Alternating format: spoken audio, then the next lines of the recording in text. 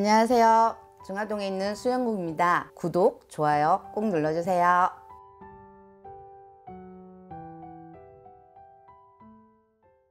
각자 사람마다 다 틀려. 피디님 같은 경우 그 나, 나이에, 그 달에, 그 월에, 그 일에, 그 시간에 태어난 전국에 한 명이겠어? 아니죠. 그 사람 중에 타고난 숫자와 색깔과 나한테 득과 손실을 줄수 있는 사람은 틀려.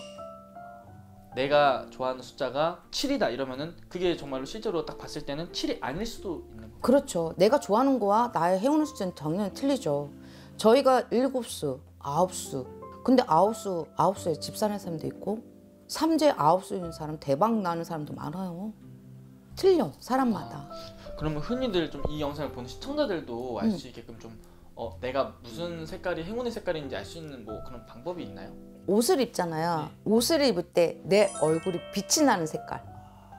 하얀색을 입으면 다 깨끗하고 괜찮지. 네. 근데 유난히 얼굴이 깨끗해 보이고 더 좋은 색깔이 있어요. 그날 본인들이. 그런 색깔 본인한테 행운 색깔이지.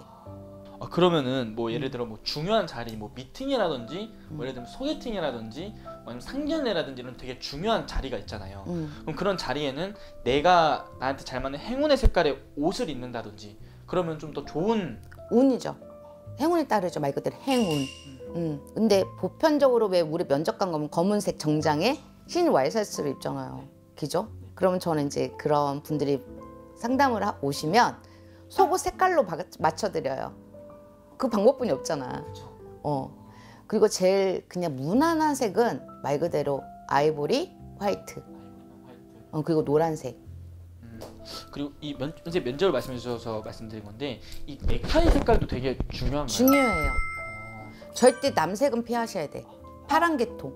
파란 계통은 어떤 사람한테는 가장 좋지만 보편적으로 그냥 평균적으로 따지면 피해야 되는 색깔. 우리가 이렇게 저희가 오방기라는 게 있는데 파란색이 나오면 거의 근심 걱정을 많이 말하거든요. 그래서 파란색은 넥타이는 좀 피했으면 좋겠어. 빨간색? 뭐 어떤 색이 좋을까요? 빨간색은 너무 튀죠. 아 그래요? 어, 그죠? 보편적으로. 그러니까 연한 뭐 파스텔 그런 계통.